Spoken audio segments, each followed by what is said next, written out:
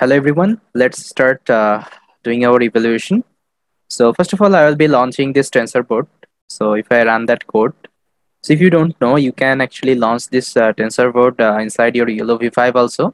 And you can see there are some random dispatch like uh, here I have just considered 10 epochs. So that's why sometimes it is like uh, my accuracy is like high, sometimes it is low. And sometimes my loss is uh, very high, sometimes it is low, okay. Uh, so that's why, but if you're taking more number of epochs, okay, you will get uh, your relevant results.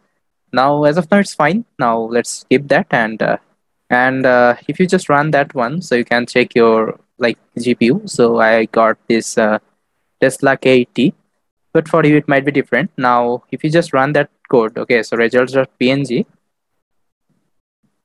So actually, you can see like all your results, okay, in just one place so see this is your train uh, box and uh, train object box and train classes okay? And your map score okay? And the loss all you can get in just one place. Uh, and uh, these are the file actually saved here okay? If you just do ref uh, refresh and if you just go inside train and this YOLO v5s results so we'll get all the results okay? All the results and all the images okay we'll be getting from here. Now let's uh, see our ground truth value So see the uh, see this is our ground truth, and uh, let's see the prediction. So see these are some prediction on top of our augmented data. Okay, and uh, here you can see it is just giving one, two, three, four like uh, that. Okay, it is just giving the class like that. But if you want to see uh, the text also, like your uh, language also, like that means like you are trying to say thank you. Okay, so if you want to see the thank you on top of that so you, you need to uh, like run another code i'll be showing you. So let's uh, see first of all our models.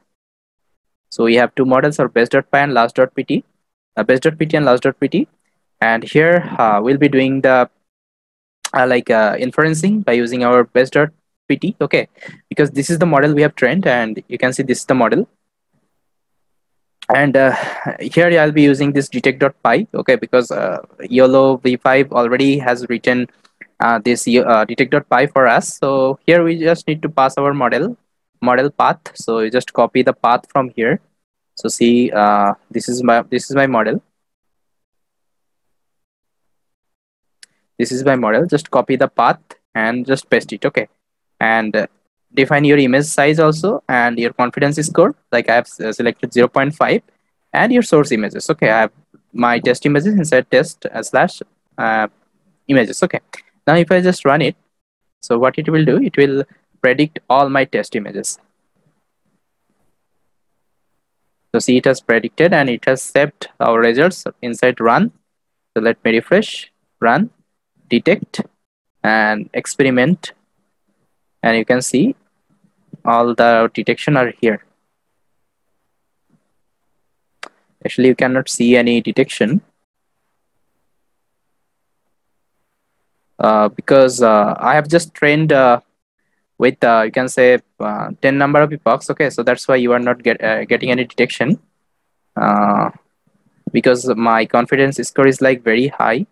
But if you want to see the detection so you can reduce the confidence confidence score suppose 0.1 but if you're training around uh, uh, 300 uh, 300 epochs so you'll get your results okay for sure.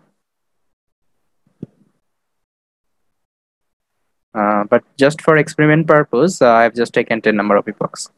Now if I refresh and uh, if I show you the results so here it is not giving any prediction because we have trained very less number of epochs so I've already trained this model around 300 epochs.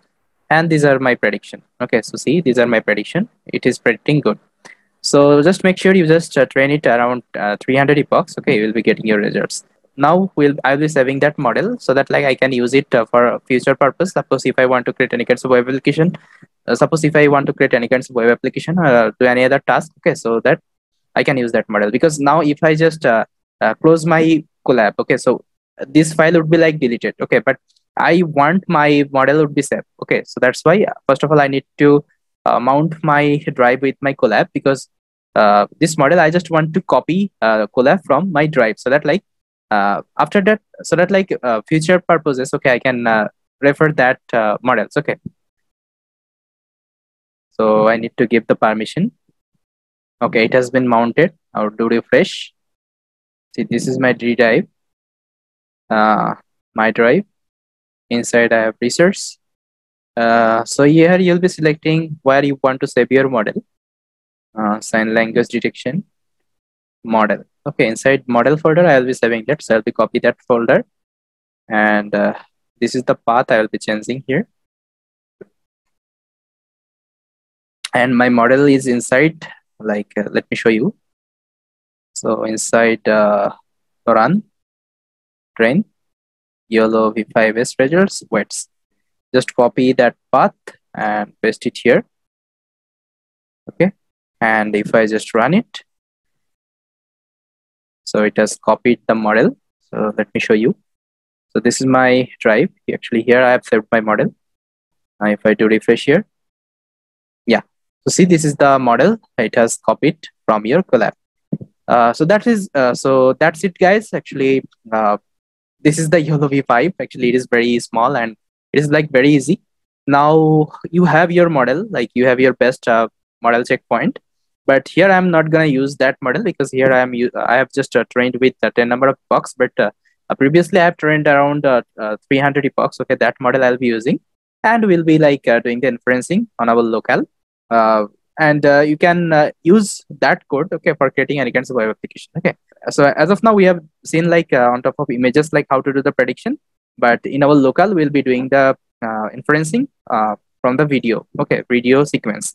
So yes guys that's that was uh, all about from my side. And uh, i hope you have liked it. And uh, let's meet at the next video and implement our uh, video sequence. Thank you